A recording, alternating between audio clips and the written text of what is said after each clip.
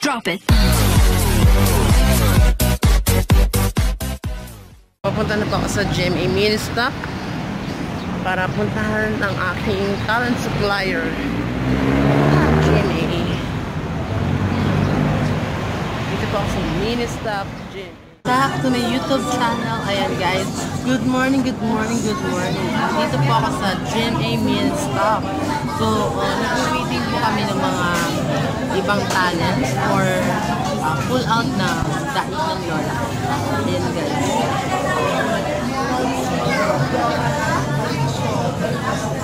So, ako, kararating ko lang. Kasi, malayo ang pinanggalingan ko. Pinanggalingan From, ano ba po ako, um, Commonwealth and to GMA means stuff. So, ayan. Tanong nyo naman, mamaya guys, um, mag-video ako or sa set para makita nyo yung pangyayari sa sa set ng taping ng Daig ng Lola ko. Um, hanggang sa ngayon hindi ko pa alam kung sino yung mga artista na artista ngayon sa araw ng shoot So mamaya makikita nyo, mamaya mag-behind the. Bye! Mga ibang talents from Tanay, kung iba-ibang uh, tapings. So. Andito na rin po yung manager namin, Kuya Charles. So, kakapack up lang nila galing sa Haya, guys. Ayan. Nakita nyo naman. Parang inumagahan na kayo. Ba't ano oras kayo na-pack up? 4. So, ang biyahe, 4 hours din ang biyahe nila. Baka baksiyo ba? Wait lang guys ha. May, may naano sa'yo, pinasabi.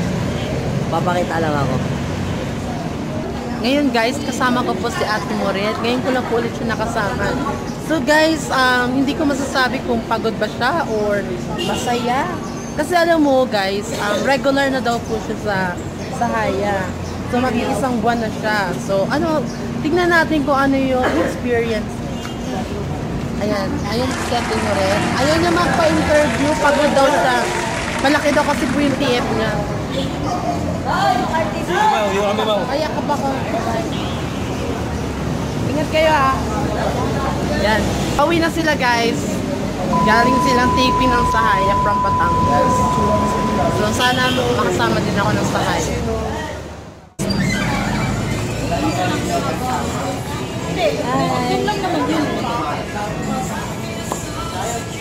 Hi, kuya. Eh, Ano? Kailangan pa ng babae? Ayan. Saan po date mo? Saan po kayo? Ah, magkakasama pala tayo.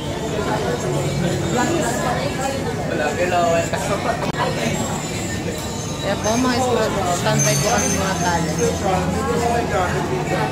Ito po yung pinakagwapo natin. Ano po ang pangalan nila? Edmar. Eh, hindi po kita mahanap sa Facebook. Sana sinabi mo Hahayaan naman kitang sumaya at umalis Sana sinabi mo Para di na Guys, ah, maraming maraming salamat po sa mga nanood ng videos namin. Patuloy na patuloy nyo rin po i-subscribe ang aking YouTube channel and sa lahat po naman na gusto ng aking videos, maraming maraming salamat.